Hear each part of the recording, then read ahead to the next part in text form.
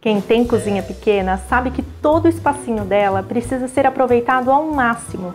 Por isso hoje eu vou mostrar para você como eu utilizei a janela entre a minha cozinha e a lavanderia, que é um espaço que normalmente fica inutilizado na casa, para criar uma fruteira suspensa com varão de cortina e cestos com ganchos. Uma ótima opção para quem guarda até o que não precisa na geladeira porque não tem espaço em bancada para legumes, frutas e pães. Ela dá um charme àquele cantinho esquecido da cozinha e não compromete a ventilação da janela.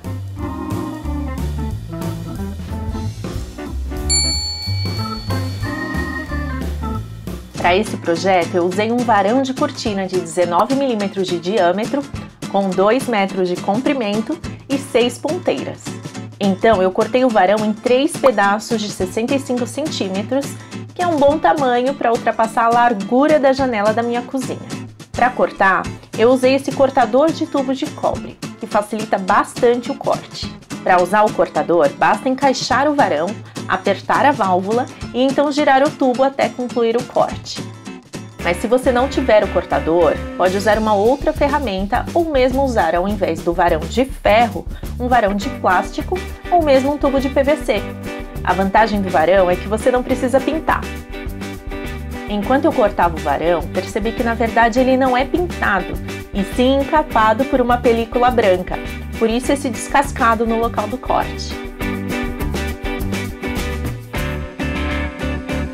Encaixe as ponteiras nas barras. Feito isso, eu cortei essa tira de algodão de 3 centímetros que você encontra em lojas de aviamentos em 6 pedaços de 25 centímetros.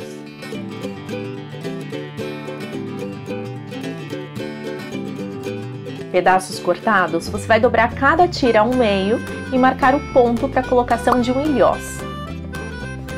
Eu encontrei uma loja de aviamentos que aplicou os ilhoses nas tiras por R$ 1,50 cada. A ideia é que cada barra seja suspensa por duas tiras. Com esse conjuntinho montado, marque os pontos onde a parede precisa ser furada. Eu usei buchas tamanho 6. Una um parafuso, uma arruela e uma das tiras e parafuse na parede.